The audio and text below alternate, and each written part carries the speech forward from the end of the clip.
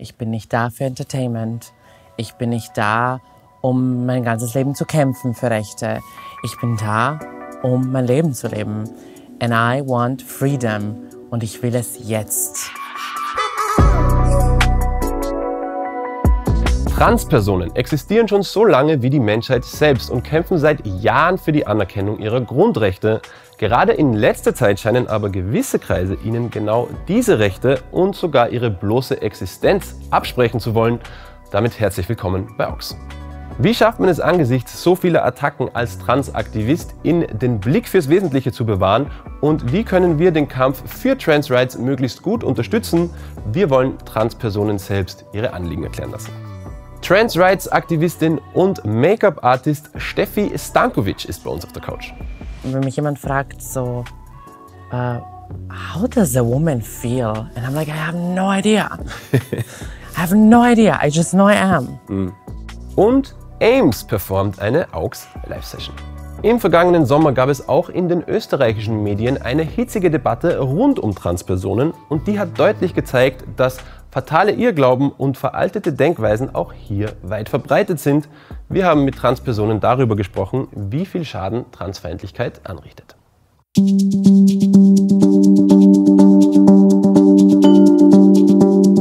Der Hashtag TERF hat auf TikTok über 100 Millionen Aufrufe. Vier Buchstaben, die für sehr viel Hate sorgen, denn sie stehen für Trans, Exclusionary, Radical, Feminist. Eine der derzeit international bekanntesten TERFs ist die Harry Potter-Schöpferin J.K. Rowling, die im Juni 2020 mit einem Tweet die Wortwahl eines Artikels kritisierte, in dem von Menschen, die menstruieren, die Rede war und sich darüber lustig machte, warum man nicht einfach Frauen sagen könnte. In diesem Tweet, auf den noch sehr viele mehr folgen sollten, zeigt J.K. Rowling die in Anführungsstrichen Logik von transausschließenden Feministinnen. Durch sensible Sprache, in der Transpersonen inkludiert werden, würde angeblich das Wort Frau abgeschafft werden. Woher kommt dieser Gedanke? Viele TERFs verankern ihren Feminismus in der zweiten Welle der Bewegung in den 60er und 70er Jahren. Damals war es eines der Hauptanliegen, Safe Spaces für Frauen von Männern zu schützen. TERFs behaupten, dass etwa eine weitläufige Akzeptanz von Transfrauen bedeuten würde, dass Männer vorgeben könnten, trans zu sein, um Räume für Frauen einnehmen zu können. Häufig werden dabei Beispiele wie Leistungssport oder Gefängnisse genannt. Nur am Rande, in unserer Recherche konnten wir keine Daten finden, die diese Behauptung unterstützen würden. Hingegen haben Transpersonen laut unterschiedlichen Studien ein doppelt so hohes Sterblichkeitsrisiko wie Cis-Personen und ein erhöhtes Risiko, an einer psychischen Erkrankung zu leiden. In der vierten Welle des Feminismus, die in der wir heute sind, spielen Intersektionalität und das Aufbrechen von binären Geschlechterdenken eine viel größere Rolle. Sprich, Feminismus fokussiert sich heute nicht mehr auf weiße CIS-Frauen und damit kommen manche Oldschool-Feministinnen scheinbar nicht klar.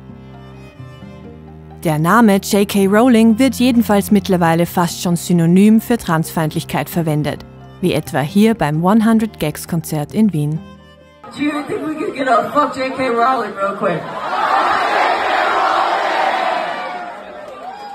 Auch in Österreich häufen sich TERFs immer mehr. Erst im Sommer 2022 sorgte ein umstrittenes Interview für viel Aufmerksamkeit, in dem eine grünen Politikerin transphobe Aussagen auspackte. Daraufhin gab es einige Talkrunden in verschiedenen Medien, die über die bloße Existenz von Transpersonen diskutierten. Ich hatte vor kurzem die Möglichkeit, in einer Talkrunde im Falterradio dabei zu sein. Das ist Claire Karders. Sie ist Aktivistin und stellvertretende Obfrau des Frauenvolksbegehrens. Meine Experience bei dem ganzen Gespräch war erstens, ähm, dass ich gemerkt habe, dass aus medizinischer Sicht es super ist, Allies zu haben, die eben sprechen. Es war die Frau Dr. Kaufmann, Ulrike Kaufmann dabei, die Person, die mich selbst im AKH behandelt, aber auch ein super wichtiger Ally ist für die Trans-Community. Und ähm, auf der anderen Seite habe ich natürlich gesehen, die schockierenden Meinungen und Falschinformationen, die immer noch gepusht werden von der Turf-Community, sei es, ähm, dass es wirklich Personen gibt, die diesen riesenlangen Prozess von einer medizinischen und ähm, Transition auf Papier, also die zwei äh, Transitionen durchgehen, nur um Frauen auszuspionieren in Bereichen, die eben für Frauen sind von Allies, von CIS-Personen, aber auch anderen Personen aus dem LGBTQIA-Plus-Spektrum, sei es Lesben oder Schwule, wünsche ich mir, dass Transpersonen mehr zugehört wird. Wir sprechen sehr viel über Transpersonen, aber viel zu selten tun wir mit Transpersonen sprechen. Es werden oft Debatten angefangen, die für uns total irrelevant sind. Zum Beispiel in Bezug auf ähm, das Wort Frau, das Problem mit den Toiletten. Ich habe äh, diesen Sommer, also im Juli, einen Beitrag auf meinem Social Media veröffentlicht, wo ich eben gesagt habe, ähm, niemand will das Wort Frau abschaffen. Ich bin selbst eine.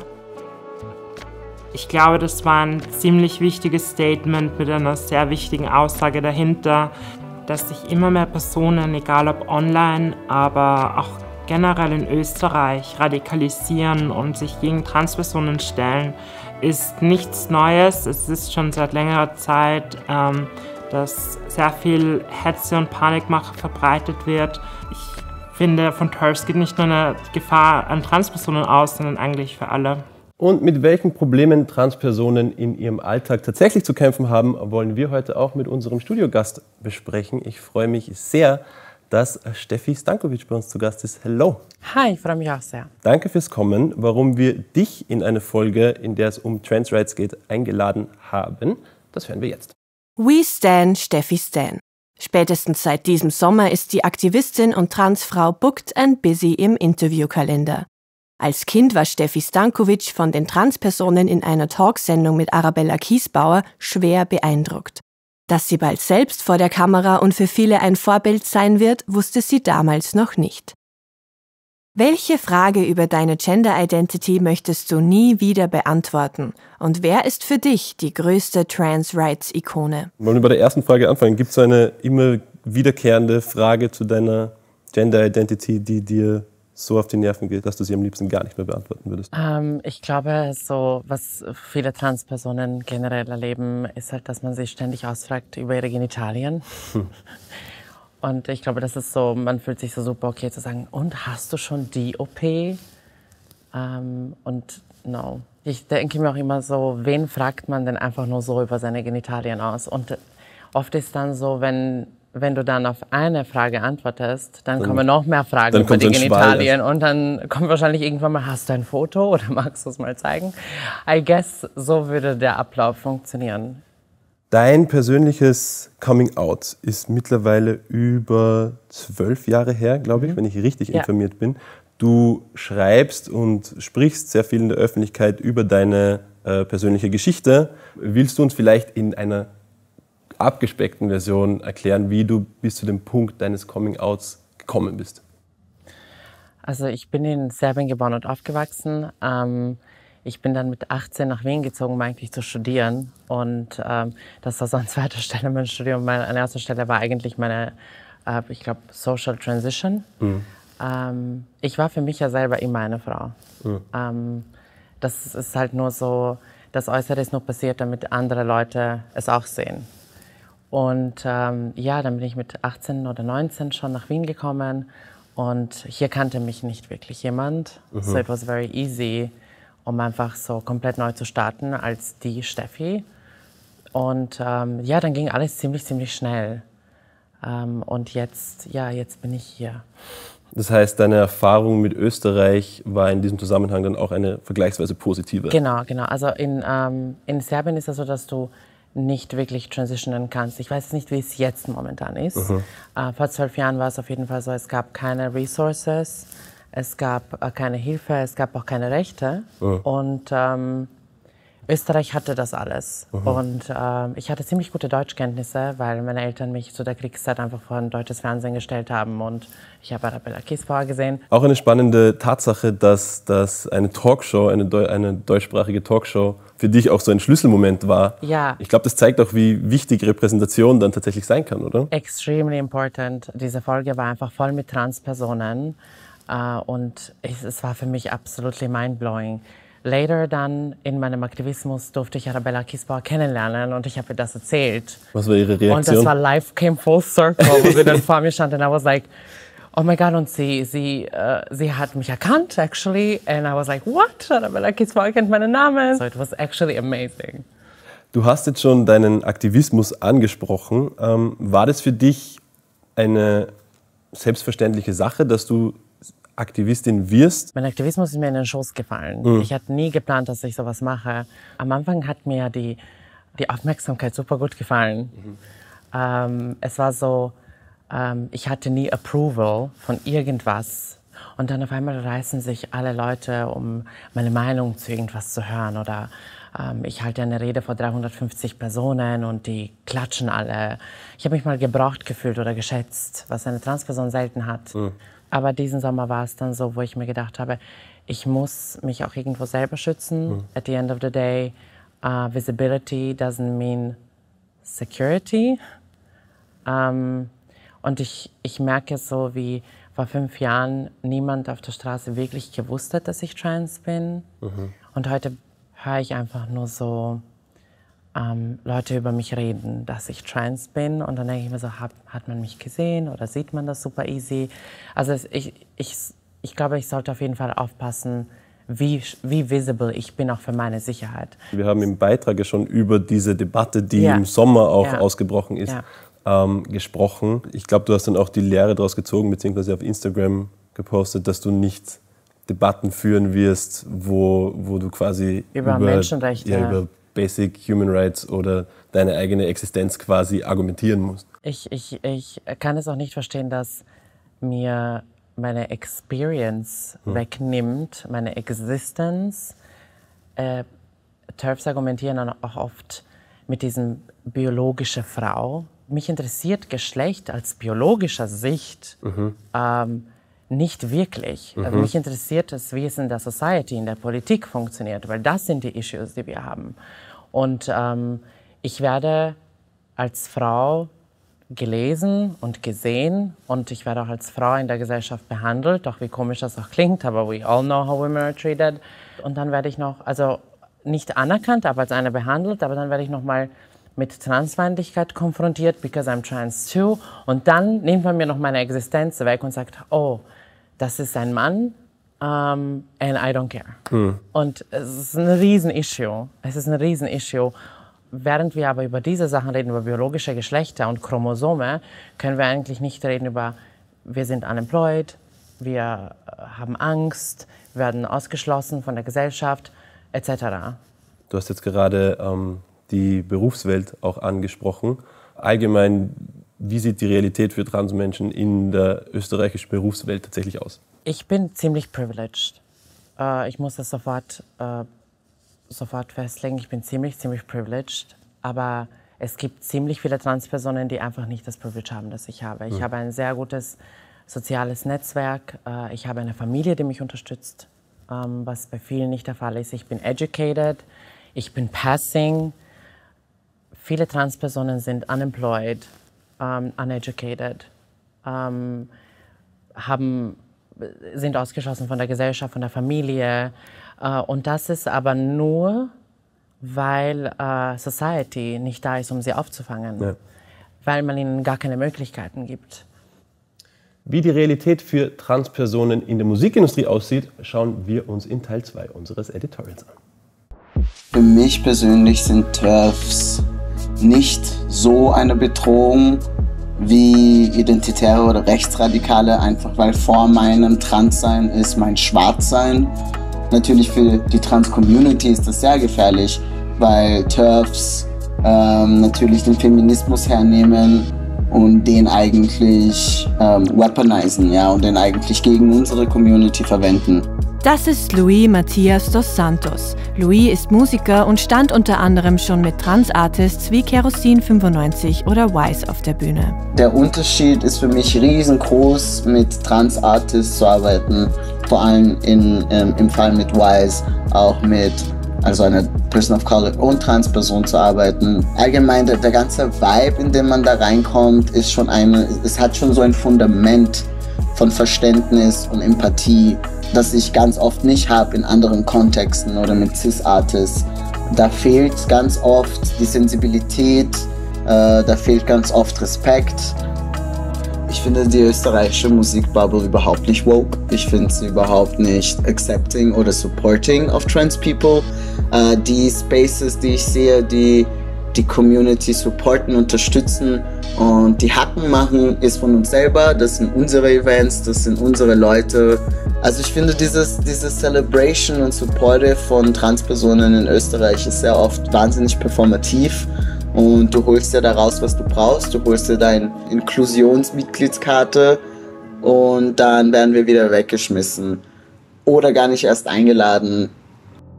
Ich bin ja gerade in Brasilien und habe da den direkten Vergleich, ähm, weil Brasilien das erste Land ist, also das Nummer eins im Ranking ist, das ähm, vor allem schwarze Transpersonen, vor allem transfeminine Personen tötet.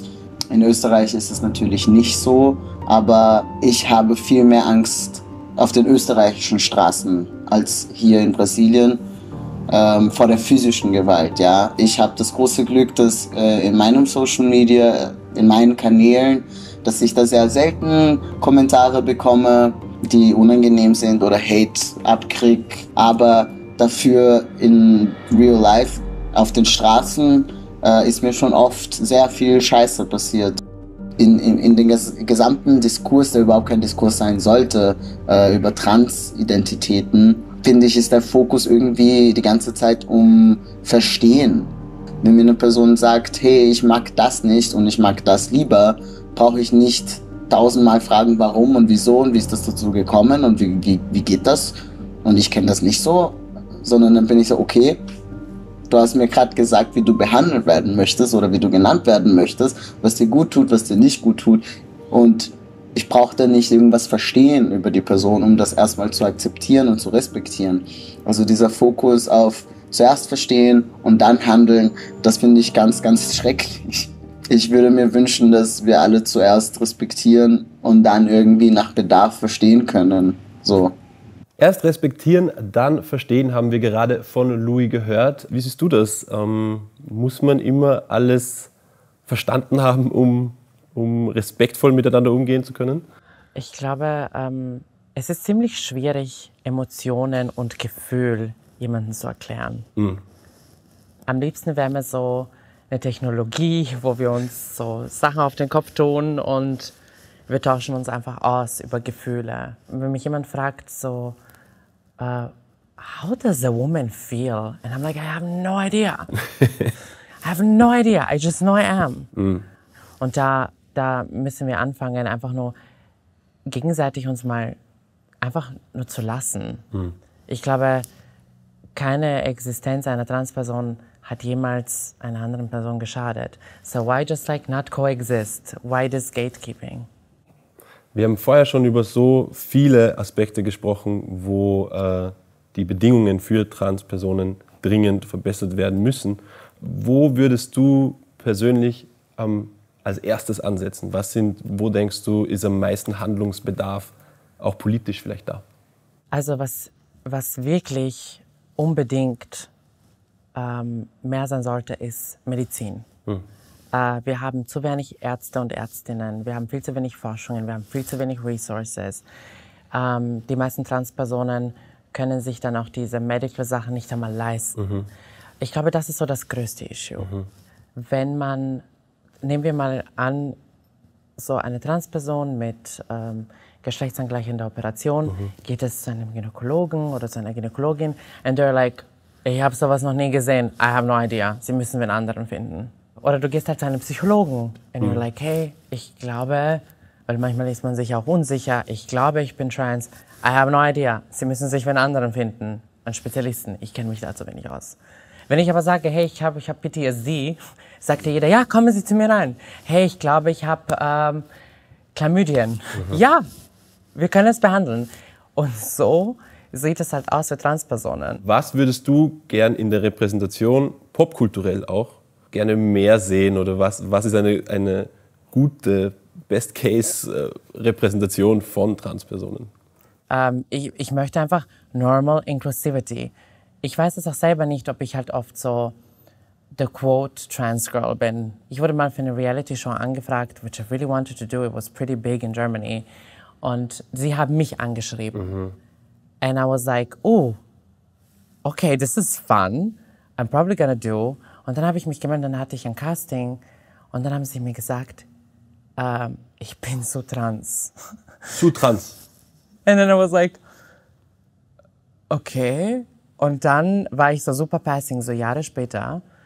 Und dieselbe Show hat mich nochmal angefragt. And I was like, okay, this time it's gonna work. I'm like so passing right now. Und ich bin halt wieder beim Casting gewesen. They were like, jetzt bist du viel zu passing. Es tut uns voll leid, du siehst halt schon viel zu femme aus.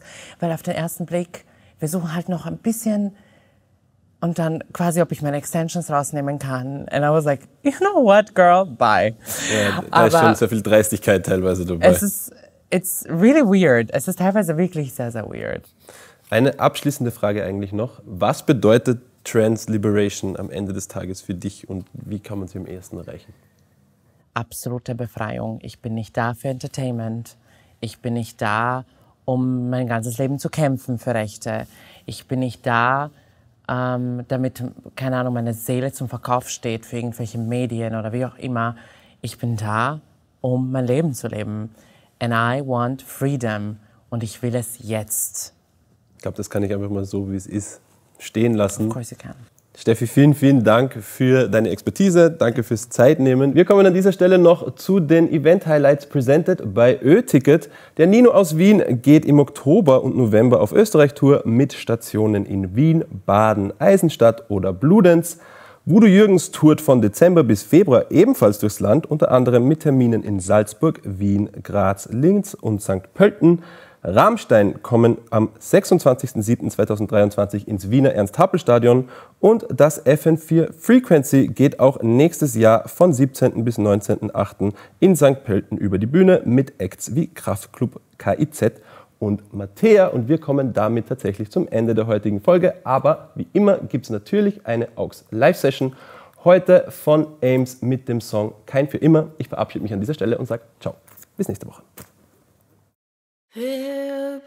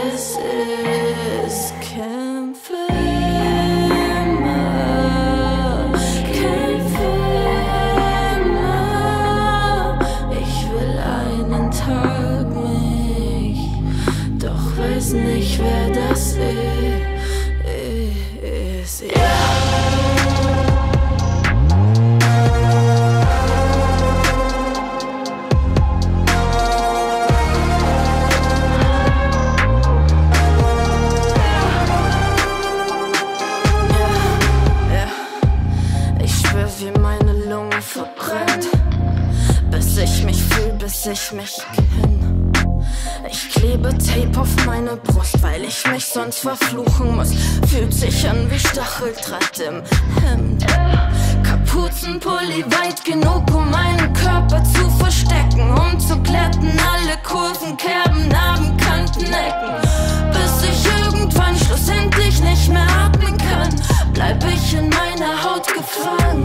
Kein Film